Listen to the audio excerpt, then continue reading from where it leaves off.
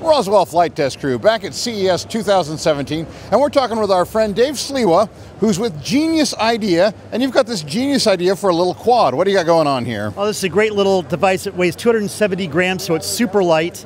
It's fully flexible. You can twist it around, so you know it's not going to be breakable. Even the blades themselves are flexible.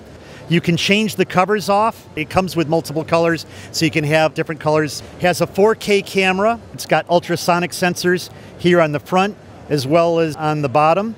Main camera is a fixed camera but is movable prior to flight, has a 170 degree field of view, a 60 degree field of view on the bottom. And that bottom camera is used for position hold. Yes, absolutely, and also ground sensing. You can actually launch it from your hand. It uses the Snapdragon chipset from Qualcomm. It can do auto orbits, waypoint navigation, can fly indoors or outdoors, facial recognition, auto follow, all the things that you've come to expect from more expensive drones. This one has an MSRP of $400. That's a really great price. Now, what about batteries? Because that's often the Achilles heel, because with any platform, because they're expensive, they're hard to find, either they're customary. Absolutely. I'm glad you asked about that, because the batteries on this are very inexpensive, standardized lithium battery sets that basically are about $3 each from Amazon. You can buy them and recharge them and have them standing by, just slap them right in. Also, very key, drone of this weight category, 20 minute endurance. Really? Yes about twice what you'd expect for one of the, the small tabletop drones like this.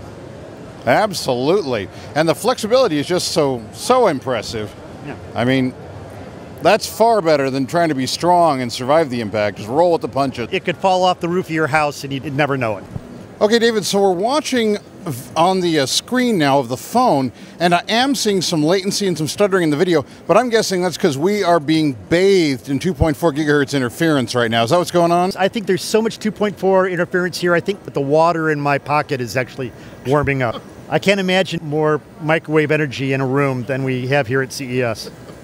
So that's not, not indicative of the performance we're likely to see out in the field. Absolutely. It's a 4K streams live to Facebook or anywhere else online that takes it and uh, just phenomenally clear video. When's it going to be available and where's it going to be available? We just did our first production runs uh, this week.